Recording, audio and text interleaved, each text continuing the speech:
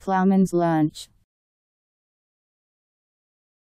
A light meal of cheese, pickled onions or pickle, and a bread roll, especially one served in a pub at lunchtime. P L O U G H M A N S L U N C H.